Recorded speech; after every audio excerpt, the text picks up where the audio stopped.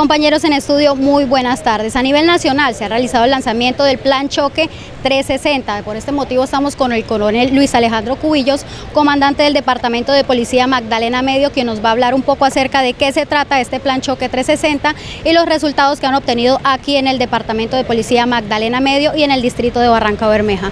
Buenas tardes, coronel. Gracias, buenas tardes. Un saludo muy especial a toda la audiencia que nos está, ve el día de hoy Efectivamente, a nivel nacional el día de ayer se lanza el Plan Choque Seguridad 360. Este Plan Choque Seguridad 360 va enfocado a atacar principalmente cuatro delitos que nos ha venido afectando aquí en nuestra jurisdicción.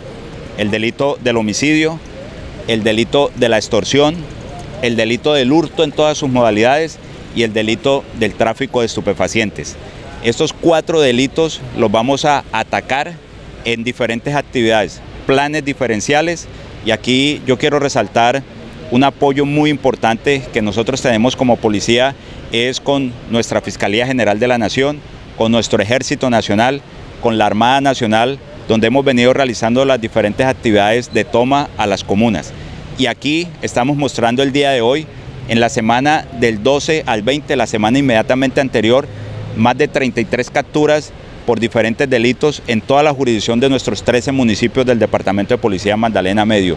Y acá, especialmente en Barranca, estamos afectando con unas inmovilizaciones, motos recuperadas, seis motocicletas recuperadas que habían sido hurtadas en diferentes sitios y meses anteriores, también una muy buena cantidad de estupefacientes que logramos la incautación, armas traumáticas, venimos, se viene, se continúan presentando los diferentes hechos de intimidación y de hurto a través de la utilización de armas traumáticas. Estamos presentando cinco armas traumáticas que pudimos incautar en la semana esta que, está pasando del 12 al 20.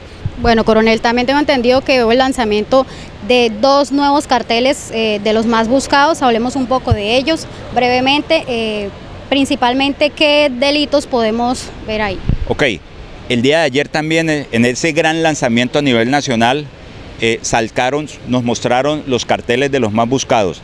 Yo quiero resaltar que dentro del cartel de los más buscados a nivel nacional, nosotros tenemos dos delincuentes que vienen realizando actividades delictivas aquí en nuestra jurisdicción.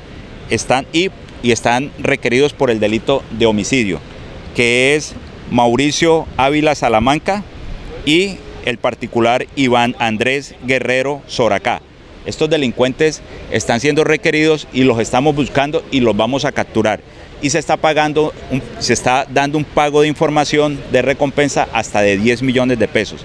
Y asimismo, un sujeto que viene realizando actividades de extorsión, especialmente en jurisdicción del municipio de Puerto Berrío, un sujeto conocido con el alias de Messi Junior, que también estamos ofreciendo hasta 10 millones de pesos para lograr la captura de esta persona muchas gracias, coronel, por esa información tan importante. Esta es la información que tenemos hasta el momento acerca de los, resultados entregados por las autoridades en la semana inmediatamente anterior, además del lanzamiento de este Plan Choque Seguridad 360 a nivel nacional. Esto es un informe de Milady Jiménez con la Cámara de Libardo Rueda para Enlace Noticias.